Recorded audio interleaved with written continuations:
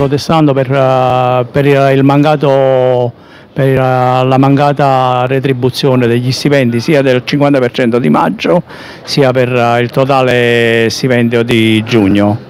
Uh, ieri stanotte siamo stati in azienda, abbiamo fatto, abbiamo, siamo stati in presidio in azienda circa una trentina di operai, pretendiamo che immediatamente ci vengano, ci vengano dati gli stipendi. Oltre agli stipendi avanziamo sette mesi di ticket, avanziamo alcune altre spettanze che mh, sarebbero parecchie, parecchie voci che mancano ancora all'appello della, della, della retribuzione.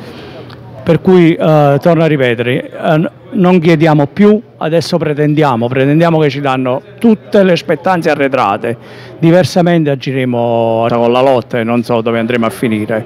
Uh, colgo l'occasione per ringraziare il, mio, il, partito a cui faccio capo, Rifondazione Comunista, che da subito è stato vicino alla lotta dei, dei lavoratori. Anzi, a, questo, a tal proposito ha indetto una conferenza stampa per lunedì alle ore 17, dove abbiamo invitato tutte le forze politiche, sindacali e tutti, e tutti quanti. È chiaro che a questo punto non, uh, non, ci bastano più le rassicurazioni che ci danno in modo verbale, Voglia, ci chiediamo atti concreti atti concreti che potrebbero essere anche proprio l'erogazione degli stipendi arretrati. Ci hanno fatto un concordato preventivo, ci avevano garantito che alla scadenza del, del, del giorno 10, che, che, è il giorno in quali, il, con il quale percepivamo lo stipendio, ci avrebbero pagato. Oggi, il primo mese dopo il concordato preventivo, siamo al giorno 19-20, ma non mi ricordo bene, e non si parla ancora di niente, non si sa non si sa la data di quando prenderemo lo stipendio. È l'ennesimo momento di emergenza della Richi Multiservice.